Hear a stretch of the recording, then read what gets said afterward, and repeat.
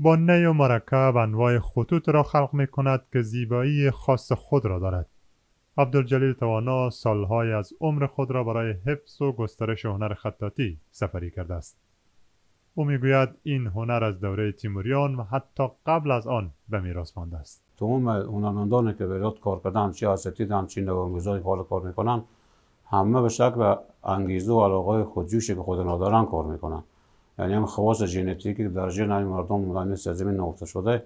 نظر به علاقه دارم به هنر خط و خوشنویسی و از اونجا هم که هنر خوشنویسی و هنر ظریف و اسلامیه و در همه جای ارزش هنری خاص خود داره و خداوند هم اون قلم سوگند یاد کرده به از این نون بر قلم استرون و از این اساس مورد احترام و خاص هم هست.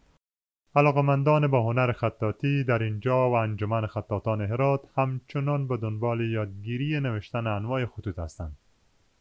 استادان و هنرجویان در این بخش می‌گویند کار اساسی برای رشد و شکوفایی این هنر انجام نشده است. این هنرمندا و یا هنرجو فقط به علاقه و به اون مصرف اندک یا سرمایه اندک خود اینا داره دیگه اما تابلو مثلا که کار می‌کنن یا ابزار می‌خرن مرکب می‌خرن کاغذ می‌خرن دیگه از اون پول خودشون می‌خرن و کار می‌کنن. سهولت های دولت باید در این قسمت باید برای هنرمندا برای استادا اینا مهیا کنه.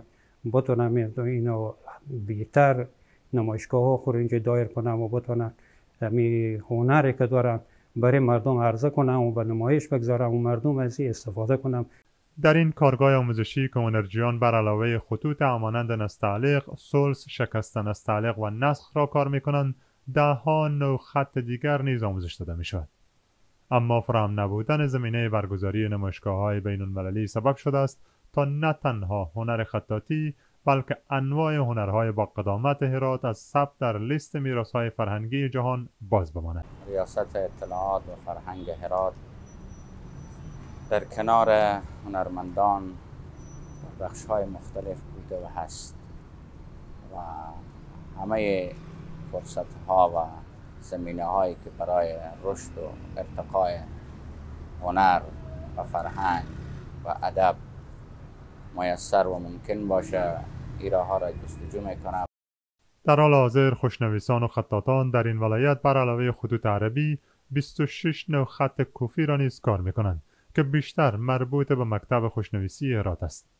تلاش هنرمندان این است تا نه تنها خطاطی بلکه انواع هنرهای رایج در این ولایت را همچنان حفظ کنند.